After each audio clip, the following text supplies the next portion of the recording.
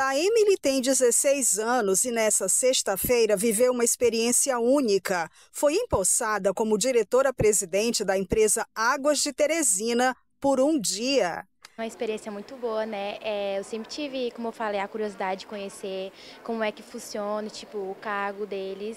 A iniciativa é o resultado de uma parceria com a ONG Plan International Brasil, através do projeto Escola de Lideranças para Meninas. Taemily conheceu os departamentos, os gerentes, colaboradores. Ao lado do presidente da empresa, foi ao centro de operações, onde toda a rede de distribuição de água é monitorada. A gente estabeleceu metas de mulheres em cargos de liderança. Isso é um trabalho contínuo que vai acontecendo nos próximos anos. Este ano, a Plan International trabalha com a campanha Beat the Clock, ou seja, acelere o relógio. Esse projeto tenta diminuir as desigualdades sociais entre homens e mulheres no mercado de trabalho.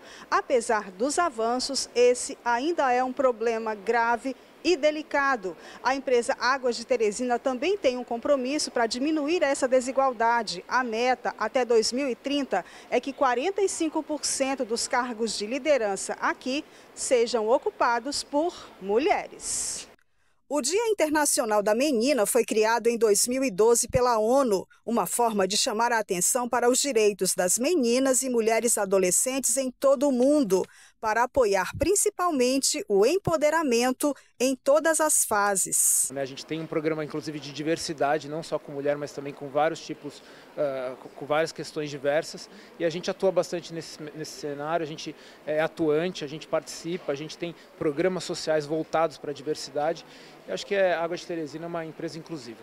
Eu pensei que eu che... quando eu fosse chegar aqui eu não ia encontrar nenhuma mulher, mas eu percebi que a maioria da parte aqui né, é meninas, meninas não, mulher, que que mostra que tipo o empoderamento da mulher, né, que eu no trabalho. Essa chamada acelere o relógio é para que a gente, né, enquanto sociedade, acelere esse processo de igualdade, que é algo que que por direito é de todo mundo.